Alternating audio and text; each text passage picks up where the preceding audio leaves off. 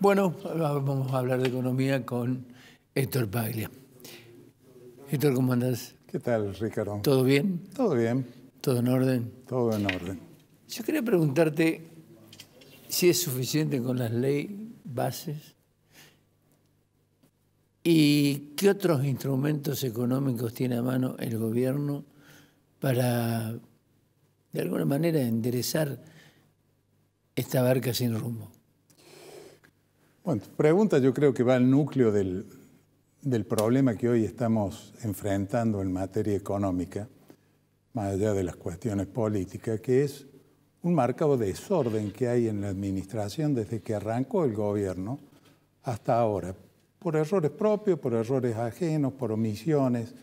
Pero si nosotros hacemos una rápida síntesis, recordemos que ni bien asumió el gobierno Milei, Hubo un decálogo anunciado por el ministro Caputo con una serie de medidas donde lo que sobresalía era una fuerte devaluación del tipo de cambio, en donde había otras medidas adicionales vinculadas a la reducción de la planta personal, de la pauta publicitaria, etc.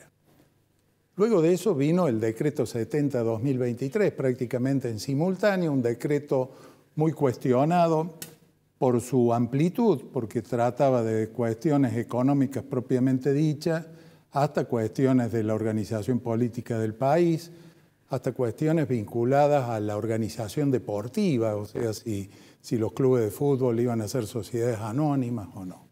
Y después viene la primera versión de la ley base, en donde nos encontramos con una serie de desregulaciones, una serie de de propuestas y sobre todo con un marco político donde prácticamente el presidente pretendía la suma del poder público, con alrededor de 10, 11 declaraciones de emergencia, con una emergencia hasta el 31 de diciembre del 2025, ley que ya todos conocen, fue rechazada, eh, no tuvo la aprobación y viene la segunda versión desdoblada. Ley base por un lado y por otro lado lo vinculado a la reforma tributaria o a la ley eh, que hace al tema fiscal.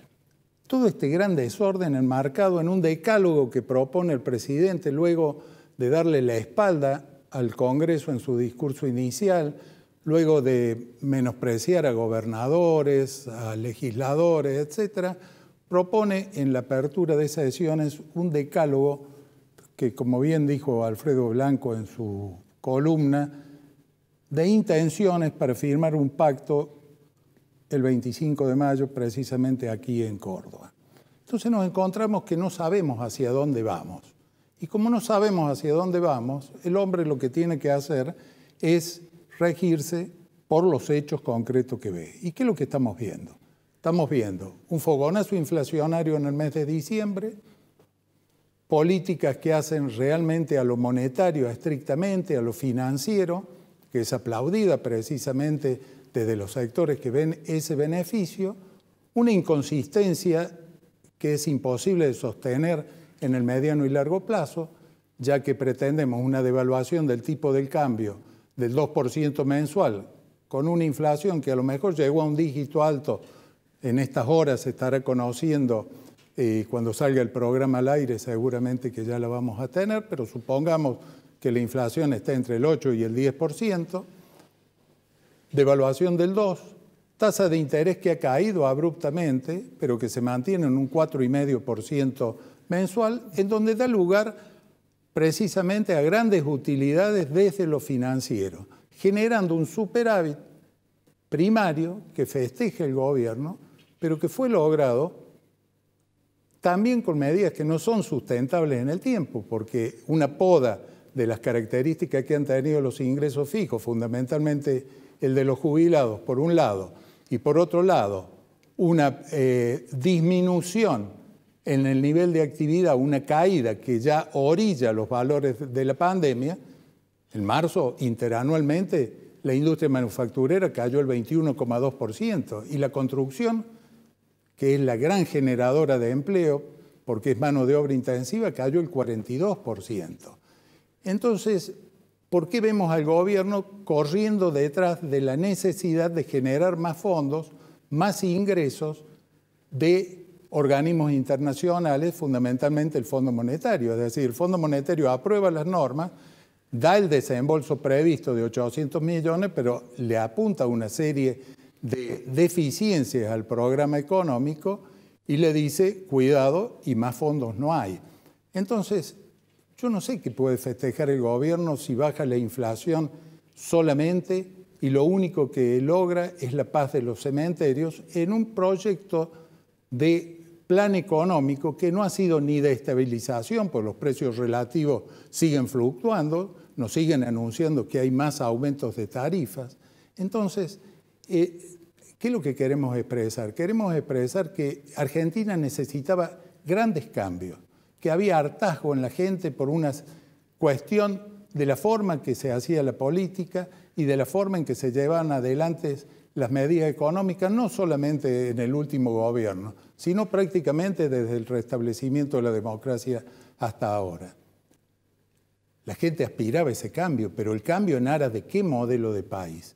La palabra producción no existe, no está ni en el, ni en el decálogo de Caputo, ni en el decreto de necesidad y urgencia 70, ni en las dos versiones de la ley base, porque el régimen, el RIGI, el régimen de inversiones para grandes, de incentivos para grandes inversiones, tiene una orientación y una forma de manejo que adolece de muchísimos costados desde el punto de vista no solo económico, sino legal. De hecho, hay eh, legisladores de la oposición que están apuntando a esta circunstancia. Y que vamos a tener a la postre una mayor presión fiscal, la reincorporación de una masa importante de trabajadores como tributantes del impuesto a las ganancias. Entonces, ¿por qué, ¿por qué no hablamos de producción? ¿Por qué no decimos cuál es el modelo productivo al cual vamos a apuntar luego de todo este sacrificio, que es muy grande?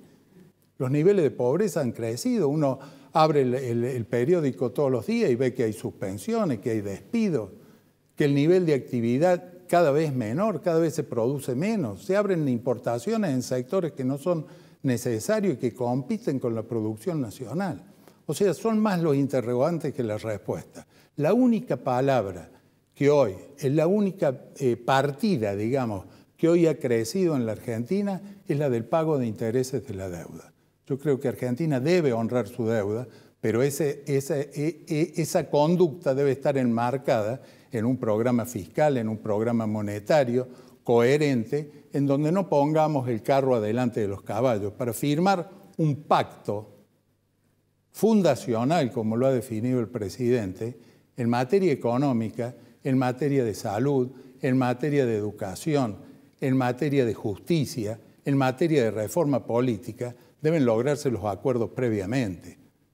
Nosotros tenemos partidos centenarios en la Argentina, tenemos partidos que eh, han, tenido un desarrollo durante la historia de Argentina que debieran opinar y formar un consenso previo a la firma de cualquier pacto. Si no, vamos a firmar un pacto donde ya sabemos que hay cinco gobernadores que no vienen, donde lo único referido a la economía real es la libertad de comercio, lo cual abre un abanico de cuestiones que no están vinculadas a la inversión productiva.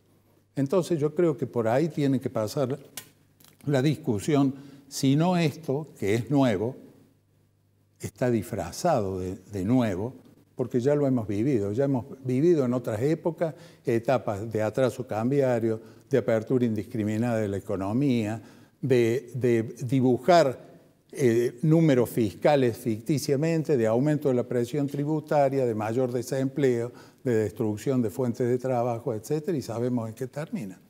Bueno, eh, vos decías el plan, plan no existe, no hay plan. No, a lo mejor esto es el plan. El plan, no, no. Lo hemos conversado contigo en este programa, que, lo, que en plena crisis, es decir, cuando ya a fines del año pasado, antes de las elecciones, avisorábamos que Argentina iba a una crisis económica, cualquiera fuera el resultado del acto eleccionario. Pero hacía falta un plan de estabilización y decíamos, ese plan de estabilización per se no va a solucionar los problemas, porque necesita incorporar un programa que dé las pautas de cuál va a ser el crecimiento productivo. ¿Por qué? Porque veníamos viendo que se han alternado políticamente planes económicos que gobernaban con deuda o planes económicos que gobernaban con emisión monetaria, o una combinación de ambos. Y decíamos, ¿por qué no probamos de una buena vez y para siempre gobernar con un programa productivo? ¿Por qué no ponemos todo lo que la, el, el herramental económico y la decisión política para lograr que la producción sea la que permita la salida sustentable y permanente en el tiempo de la economía argentina. Pero no se habla de producción, nadie lo habla. La palabra producción no existe. Eh, sí, coincido con eh, ¿Crees que puede darse la dolarización teniendo el cepo pendiente ahí de resolución? Bueno, esa es otra gran contradicción. El presidente llegó al gobierno o ganó la elección, una de sus banderas era la dolarización. Lo primero que hizo fue dar señales claras de que no iba a dolarizar, porque a quien había elegido para comandar el Banco Central y quienes eran sus asesores en materia económica referida a este tema quedaron fuera del gobierno. Recurrió a Caputo. ¿eh? A Caputo y a su socio, a Bausilia, en el Banco Central. Manejo de de dinero. Bueno. Eh, y además, seguimos con un sistema de tipos de cambios múltiples, porque el, el cepo continúa y el cepo no se puede sacar de un día para el otro, como lo hizo Macri en su momento, primero porque las condiciones económicas son totalmente distintas y las expectativas son diferentes, y es imposible pensar que vamos a una dolarización cuando lo que se está reforzando es la vigencia del peso y ahora está el gobierno alabando al peso, luego que se dijo que era excremento. Eh, Contradicciones que, no conducen a ningún lado. Vos sabes muy bien que yo soy acérrimo enemigo de, la, por cuestión de principio y por cuestiones eh, de, doctrina económica también, de la dolarización, pero no la veo en el horizonte. Eh, hay un dato significativo en esto y te lo quería, te lo quería consultar porque me parece que es parte de digamos, de el comportamiento que sigue el presidente de la Nación, yo lo veo como un tipo con inestabilidad emocional. ¿Crees que es así? Soy doctor en ciencia económica, no en psicología. No, no, ya sé. No, pero, pero las actitudes. Eh, Esto que hablabas vos, porque la contradicción se mide mm. con el equilibrio. No, seguro. si hay un tipo equilibrado, hay soluciones para, todo, si hay en base al equilibrio. Si no hay equilibrio, hay inestabilidad. Y a mí me da la impresión de que este hombre tiene inestabilidad emocional, además de ser autoritario, además de ser irrespetuoso, porque le emprende contra la prensa, como si la prensa tuviera la culpa. Mm. Sí, no, y aparte contra quién yo, yo lo definiría así, más allá de que a mí me gusta eh, analizar los hechos concretamente, más allá que, el, trasfondo psicológico que puedan tener las personas, pues no tengo las herramientas científicas como para hacerlo. Pero sí que es muy cambiante en su, en su opinión económica, que es lo que uno maneja.